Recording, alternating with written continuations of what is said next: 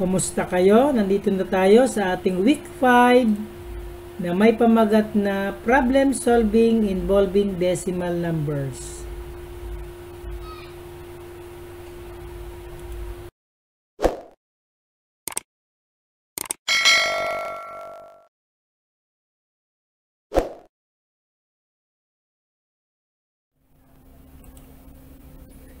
In learning task number 1, the chart shows a list of activities and the approximate amount of energy required for the average adult. Answer the given questions in your notebook. Para sa ating chart, ito ang activities. Ito naman sa kabila ang calorie per minute. Para sa unang tanong, how many calories are used by an adult who plays volleyball for 15 minutes. Ang tinatanong ay volleyball. At ang calorie per minute sa volleyball is 2.5. Ang itinatanong, how many calories used for 15 minutes?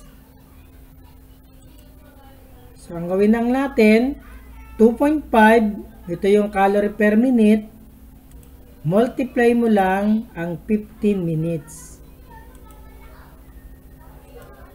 Para sa first partial product, ay ang sagot, i-plus mo ang second partial product na i-multiply sa 1 at ang magiging sagot mo pag iplinas mo ang first partial at second partial product ay 375. Ang multiplicand ay 1 decimal place at ang multiplier ay 0. 1 plus 0 equals 1 decimal place kaya ang decimal point ay ilalagay natin sa pagitan ng 7 and 5. So para sa tanong na how many calories are used by an adult who plays volleyball for 15 minutes, the answer is 37.5 minutes.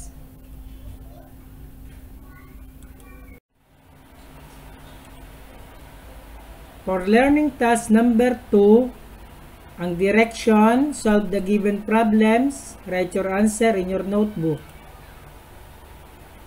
Example, ito yung problem number 1. How many centavos are there in 125 pesos and 75 centavos? Ito naman ang 4 steps in solving word problems. Step 1, understand. Step 2, plan. Step 3, solve. And step 4, check. What is asked in the problem? The total number of centavos in 125 pesos and 75 centavos. Given facts, 125 pesos and 75 centavos and 1 peso equals 100 centavos. Operation to be used, multiplication, number sentence, 125 pesos and 75 centavos times 100 equals n. For solution, 125.75 times 100, alam naman natin, pag nagmumultiply ng 100, sulat lang ang multiplicand, then imove ang decimal point ng dalawang beses papuntang kanan. Kaya ang sagot natin, there are 12,575 centavos in 125 pesos and 75 centavos. Para ma-check natin ang sagot kung tama, isulat muli natin ang equation 125.75 times 100 equals 12,575. Nag-multiply tayo. I-divide naman natin ang 12,575 divided by 100. The quotient is 125.75. Pareho ng multiplican na 125.75. Ibig sabihin, tama yung ating sagot.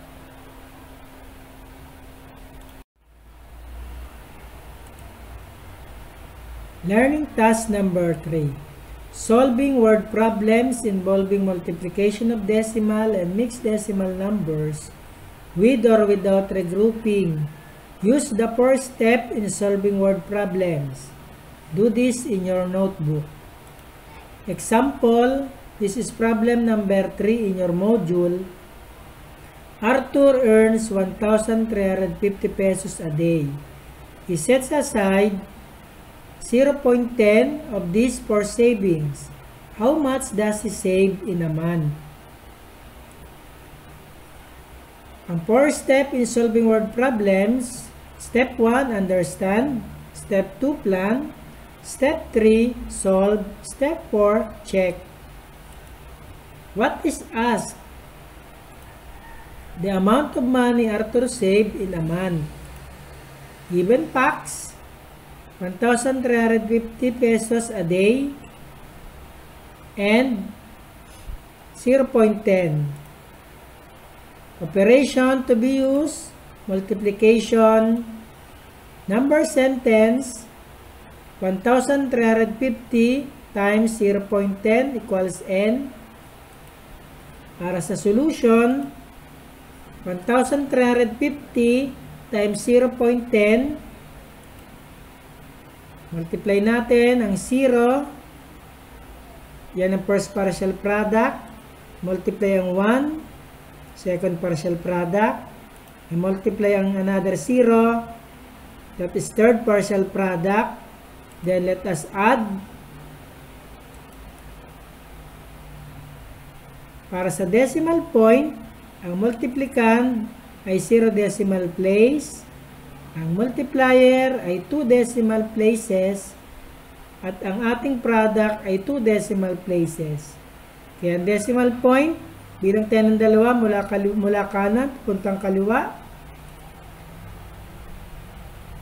So, so ang sagot natin, 135 pesos. That is amount of money Arthur saved in a month. For checking, yan yung ating solution kanina. Nag-multiply tayo. Ngayon naman, i-divide natin ang product divided by multiplier na 0.10 ang magiging quotient ay 1,350. 1,350 pareho ng multiplicand natin kanina. Madali lang palang mag-solve ng word problem using four step in solving word problems.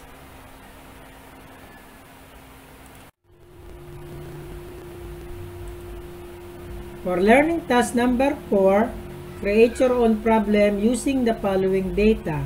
Solve your problems in your notebook. Example, 265 pesos and 25 centavos per day earnings in a month.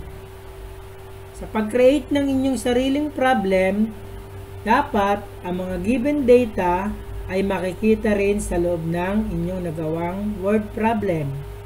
Tingnan natin ang aking nagawa. Renz works in a factory. He earns 256 pesos and 25 centavos per day.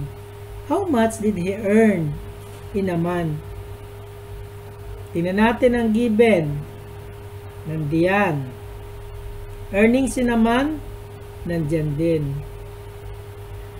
Let us solve. 256.25 times 30. Multiply natin ng 0. Yan ang ating first partial product multiply ang 3 ang ating second partial product. Pagsamahin ng first and second partial product, i-add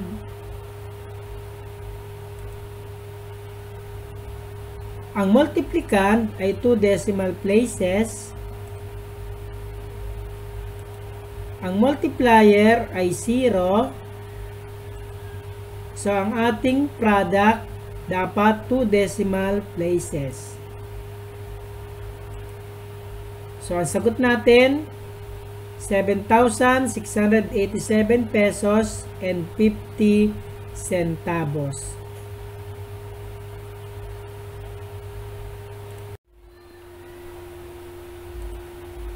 Maraming salamat.